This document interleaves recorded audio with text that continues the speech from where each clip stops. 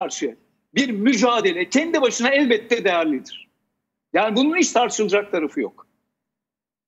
Ancak şurada şunda acele etmeyelim.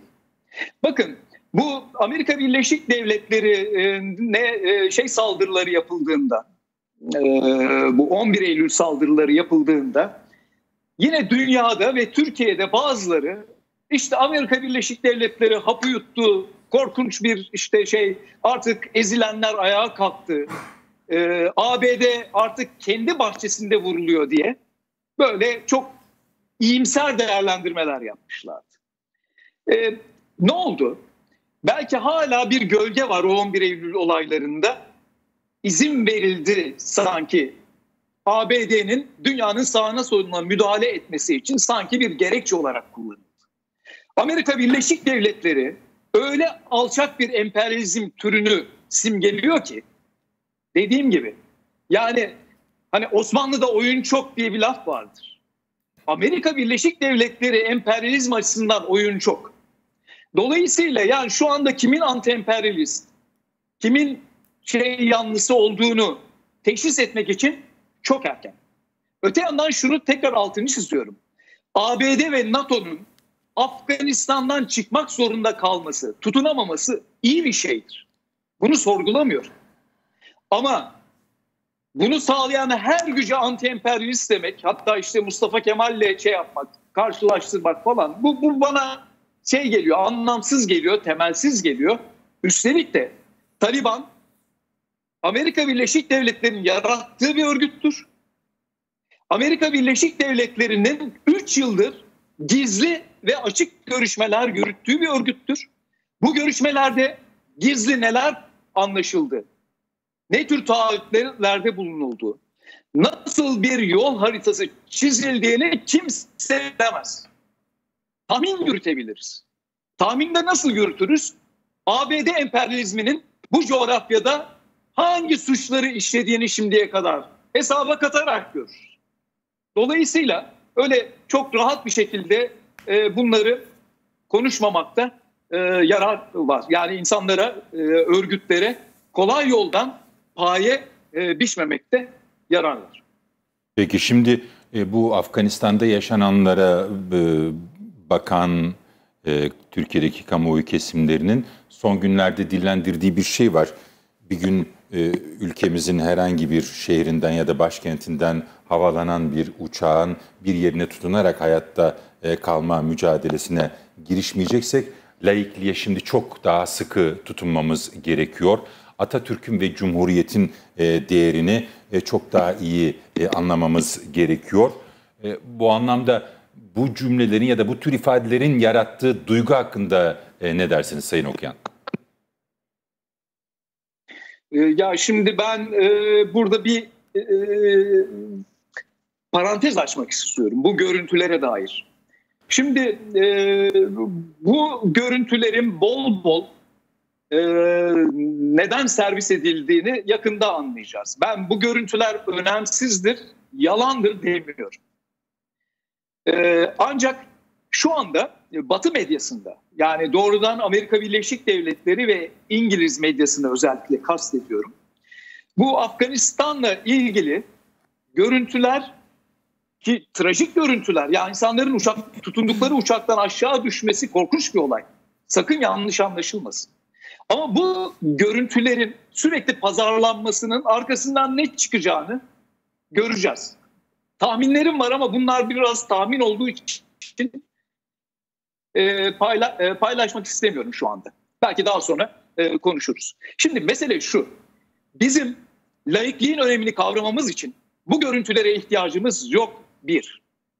İkincisi ya şükür olsun ki Türkiye'de böyle görüntüler henüz yaşamıyoruz dememiz de saçma. E çünkü her ülkenin tarih tarihteki akışı kendine göredir. Türkiye'de de bu görüntülerin özündeki geriye doğru gidiş ciddi bir mesafe aldı. Bunu bilmemiz gerekiyor. Yani bir ülkede insanlar uçak kanatlarından ya da uçağın iniş takımlarından düşmeden de o ülke karanlığa e, mahkum olabilir. Yani Türkiye'de de öyle görüntüler yaşadık ki en az bu uçaktan düşme görüntüleri kadar vahimdir. Bu ülkede çocuklara tecavüz ediliyor ve bunun hesabını soramıyoruz.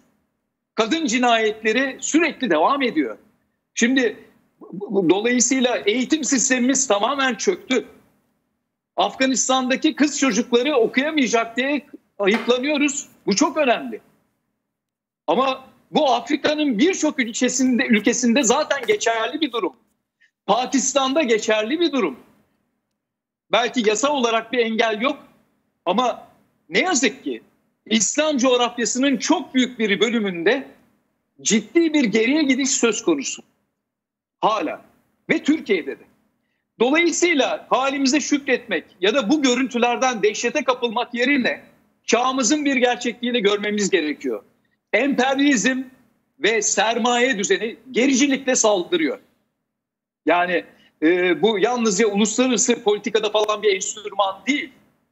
Halkı karanlığa mahkum etmek için, hakkını aramaktan alıkoymak için gericilikle saldırıyor. E, bizim hep birlikte laisizme, laikliğe ihtiyacımız var. Bir aydınlanmacı hamleye ihtiyacımız var ve e, bunun biricik e, taşıyıcısı artık Türkiye'de yoksul emekçi halk olmak zorunda. Peki anladığım kadarıyla yani Türkiye'de kafayı e, taşa vurmak için illa e, Afganistan'dakine benzer görüntülerin ortaya çıkması e, şart değil. E, Türkiye kendi koşulları içerisinde hani endişe edilecek kadar ricat e, etmiş durumda zaten geriye gitmiş durumda diyor. Sayın okuyan biraz soluklanın. E, stüdyo konuklarımın da çok kısa yorumlarını alayım hem söyledikleriniz dışında hem de dile getirdiklerinize dair. Tabii e, Avrupa Birliği Yüksek Temsilcisi Borrell'in de bir açıklaması var. Birazdan onu Sayın Okuyan'a da soracağım. Çünkü o hani bir vekalet savaşlarına mı işaret ediyor şeklinde düşündürten bir e, soru. Kemal Okuyan'ın şu ana kadarki analizinin de devamı niteliğinde yorumlayabileceği bir konu. E, Tubat Şimdi e, Kemal Bey şey dedi hani bu uçak görüntülerinin servis edilmesi acaba ne yorulur ileride göreceğiz dedi. Şimdi bir yandan e, iki uçlu düşünmeye çalışıyorum. Bu aslında Aa, bakın biz gittik oraya siz perişan oldunuz gördünüz mü gibi bir e, algı yaratmak için de yapılıyor olabilir. Ama diğer yandan şu da konuşuluyor Amerika'da. Gerçi şu andan itibaren Amerika'nın ne yaptığı kendi hani bu durumun kendi iç politikasına nasıl yansıyacağı bizi çok da ilgilendirmiyor. Hiçbir zaman da ilgilendirmemeliydi zaten ama e, işte e, orada şu anda şey var yani ikili bir e, çatışma. İşte Cumhuriyetçiler aslında bu durumu kullanabilir. Biden'ın bu şekilde Afganistan'dan gitmesi bir fiyaskodur. Dolayısıyla Cumhuriyetçiler bunu kullanacak ve belki de Biden'ın gelecek seçimlerde kaybetmesinin e, bir e, ana sebeplerinden biri Son olacak gibi de konuşuluyor. %7 kaybetmiş. Şimdi bu şekilde konuşuluyor. E, onun dışında bakıyorsunuz aslında. Şimdi mesela e, geçenlerde NATO Genel Sekreteri e, Stoltenberg 17 Ağustos'ta bir basın toplantısı yaptığında gazeteciler ona sorular yönelttiler. Ve Afgan bir gazeteci Layluma Sadit orada bir isyan etti. Yani ağlayarak dedi ki hani siz Irak'a da girdiniz. Hani güya oralara demokrasi getirdiniz. Ama en azından kendinizce bir sonuca ulaştınız. Ee, ama burayı bu şekilde bıraktınız ve gittiniz. Hani bu şekilde de isyan ediyor. Yani aslında bir yandan e, her ne kadar ABD'yi aklamasa da, suçluyor olsa da e, bu şekilde gitmesinin de aynı zamanda haksızlık olduğunu söyleyen bir kesim de var. E bunun üzerine ABD de diyor ki ve Biden açıklama yaptı. İşte aslında biz bu şekilde hızlıca e, başkanın kaçıp gideceğini, Taliban'ın bu kadar hızlı geleceğini düşünmemiştik. Kendileri birazcık da mücadele eder diye düşünmüştük diyor. Bir kısım diyor ki ya e, ordunun elinden e, teçhizatlarını alıp gitti ABD. Hani ordu savaşacak durumda değildi ki savaşsın diyor. E, ama bir bakıyorsunuz işte e, bir mücadele ruhu da yok Afganistan'da. 300 bin e, Afganistan ordusu sayısı diğer yandan 70 bin civarı Taliban. Aslında birazcık belki bir mücadele ruhu olsa bunu yapabileceğini de düşünüyorsunuz. Ee, yani bu, bu çok karmaşık ve çok uçlu yorumlanması gereken bir durum. O yüzden hani ABD'nin bu durum lehine mi oldu? Lehine çevirebilir mi bu görüntüleri? Yoksa aleyhine mi? Bu da tartışılır diye düşünüyorum. Bilmiyorum siz Ne düşünüyorsunuz? Şöyle, e, ben bütün yorumcuların görüşünü alayım ondan Evet. sonra Sayın Okuyan'a döneceğim. Barış Pehlivan. Ben eh, benim kaygılarım var. Yani kaygılarım şu. Özetlemek gerekirse. Bir kere orada 600'den fazla Türk askeri hala eh, Afganistan'da eh, görev yapıyor. Eh, ve bütün dünya çekilirken biz hala oradaki askerlerimizi eh, orada tutuyoruz. Hulusi Akar güvence verdi bir şey olmayacak diye ben güvenmiyorum. İki, ee, Suriye'de dilimizin nasıl yandığını gördük. Benzer e, hayalperest şeylere e, girmememiz gerekiyor. 3. Cumhurbaşkanı Erdoğan da bugün kabul etti. E, Afganistan'dan Türkiye'ye gelen sığınmacılar e, açısından kaygılarım var. Ben o sığınmacıların Türkiye'de nasıl entegre e, olacağını bilmiyorum. Artı içlerinde e, militanlar ve e, terör örgütleriyle ilişkili olan insanlar var mı? Emin değilim. 4. Olası Afganistan'daki iç çatışmanın daha önceki bölümde de söyledim. Türkiye'deki yansımalarından çok çekiniyorum. Çünkü ben biliyorum ki başta IŞİD olmak üzere, El-Kaide olmak üzere e, Türkiye'de e, uyan hücreler var. Onların olası e, çatışmalara ya da işte e, eylemlere girişmesinden korkuyorum. 4. Altındağ'da biz önemli bir şey yaşadık.